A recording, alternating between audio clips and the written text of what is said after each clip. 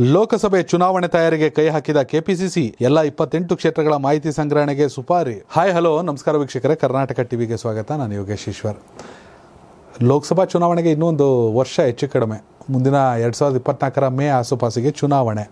ಆದರೆ ಕರ್ನಾಟಕದಲ್ಲಿ ಕಾಂಗ್ರೆಸ್ಗೆ ವಿಧಾನಸಭಾ ಚುನಾವಣೆಯಲ್ಲಿ ಜನ ಕೊಟ್ಟಿರುವಂಥ ದಿಗ್ವಿಜಯವಾದ ಪ್ರೇರೇಪಣೆಯಿಂದ ಆ ವೇವನ್ನು ಉಳಿಸ್ಕೋಬೇಕು. ಗ್ಯಾರಂಟಿಯನ್ನು ಸರಿಯಾಗಿ ಪೂರೈಸಬೇಕು. ಲೋಕಸಭಾ ಚುನಾವಣೆಯಲ್ಲಿ ಕೂಡ ಇಪ್ಪತ್ತೆಂಟು ಕ್ಷೇತ್ರಗಳಲ್ಲಿ ಸ್ಪರ್ಧಿಸಬೇಕು. ಇಂಡಿಯಾ ಜೊತೆ ಮೈತ್ರಿ ಮಾಡ್ಕೊಳ್ಳಿ, ಯಾರ ಜೊತೆ ಯಾರು ಮೈತ್ರಿ ಮಾಡ್ಕೊಳ್ಳಿ, ಕಾಂಗ್ರೆಸ್ ಕರ್ನಾಟಕದಲ್ಲಿ ಇಪ್ಪತ್ತೆಂಟು ಲೋಕಸಭಾ ಕ್ಷೇತ್ರದಲ್ಲಿ ಕೂಡ ಸ್ಪರ್ಧಿಸುತ್ತೆ, ಅಭ್ಯರ್ಥಿಗಳನ್ನು ಹಾಕುತ್ತೆ.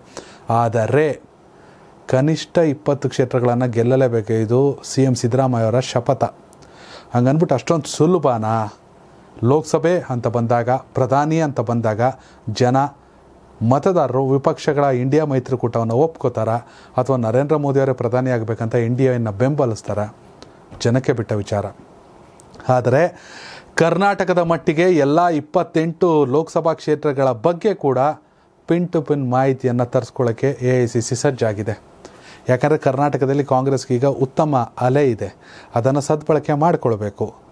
ಒಂದು ಇಪ್ಪತ್ತು ಕ್ಷೇತ್ರಗಳಲ್ಲಾರು ಸ್ಪರ್ಧಿಸಬೇಕು. ಎರಡು ಸಾವಿರದ ಹತ್ತೊಂಬತ್ತರ ಚು ಇಪ್ಪತ್ತು ಕ್ಷೇತ್ರಗಳಲ್ಲಾರು ಗೆಲ್ಲಬೇಕು ಎರಡು ಸಾವಿರದ ಹತ್ತೊಂಬತ್ತರ ಲೋಕಸಭಾ ಚುನಾವಣೆಯಲ್ಲಿ ಕಾಂಗ್ರೆಸ್ ಗೆದ್ದಿರೋದು ಇಪ್ಪತ್ತೆಂಟರಲ್ಲಿ ಒಂದೇ ಒಂದು ಕ್ಷೇತ್ರವನ್ನು ಅದು ಬೆಂಗಳೂರು ಗ್ರಾಮಾಂತರ ಡಿ ಕೆ ಸುರೇಶ್ ಅವರು ಸಂಸದರು. ಅವ್ರು ನೋಡ್ರಿ ಯಾಕೆ ಚುನಾವಣೆಗೆ ನಿಲ್ಲಲ್ಲ ಅಂತ ಇತ್ತೀಚೆಗಷ್ಟೇ ಕೆಲ ದಿನಗಳ ಹಿಂದೆ ಹೇಳಿದರು.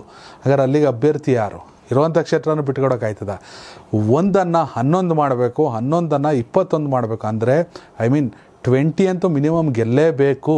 ಇದರ ಲೆಕ್ಕಾಚಾರ ಇದೇ ಕಾರಣಕ್ಕಾಗಿ ಎ ಐ ಸಿ ಸಿಯ ಒಂದು ತಂಡ ಮಲ್ಲಿಕಾರ್ಜುನ ಖರ್ಗೆ ಮತ್ತು ರಾಹುಲ್ ಗಾಂಧಿ, ಸೋನಿಯಾ ಗಾಂಧಿಯವರ ಮಾರ್ಗದರ್ಶನದಂತೆ ಅಥವಾ ಸಲಹೆಯಂತೆ ಅಥವಾ ಸೂಚನೆಯಂತೆ ಕರ್ನಾಟಕದ ಇಪ್ಪತ್ತೆಂಟು ಕ್ಷೇತ್ರಗಳ ಗ್ರೌಂಡ್ ರಿಪೋರ್ಟನ್ನು ರೆಡಿ ಮಾಡುತ್ತೆ. ವಿಧಾನಸಭಾ ಚುನಾವಣೆಯಲ್ಲಿ ಮಾಡಿದಂತೆ ರಥಯಾತ್ರೆಯನ್ನು ಕೂಡ ಕರ್ನಾಟಕದಲ್ಲಿ ಲೋಕಸಭಾ ಚುನಾವಣೆಯಲ್ಲಿ ಕೂಡ ಮಾಡುತ್ತೆ. ಉತ್ತರದ ಕ್ಷೇತ್ರಗಳು ಮತ್ತು ದಕ್ಷಿಣ ಕ್ಷೇತ್ರಗಳಂತ ಪ್ರತ್ಯೇಕವಾಗಿ ಮಾಡಿ ವಿಧಾನಸಭೆ ಚುನಾವಣೆಯಲ್ಲಿ ಬಳಸಿದ ಎಲ್ಲ ಸ್ಟ್ರಾಟಜಿಗಳನ್ನು ಮತ್ತಷ್ಟು ಎಫರ್ಟ್ ಹಾಕಿ.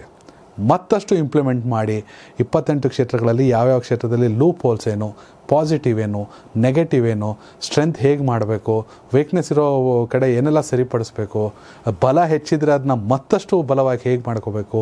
ಹೀಗಾಗಿ ಇಪ್ಪತ್ತೆಂಟು ಕ್ಷೇತ್ರಗಳ ರಿಪೋರ್ಟನ್ನು ಕೂಡ ರೆಡಿ ಮಾಡೋಕ್ಕೆ ಹೈಕಮಾಂಡ್ ಕೆ ಪಿ ಸಿ ಸಿಗೆ ಸೂಚಿಸಿದೆ. ತನ್ನದೇ ಆದ ತಂಡವನ್ನು ಕೂಡ ಕಳಿಸ್ಕೊಡೋದಾಗಿ ಮಾಹಿತಿಯನ್ನು ಕೊಟ್ಟಿದೆ.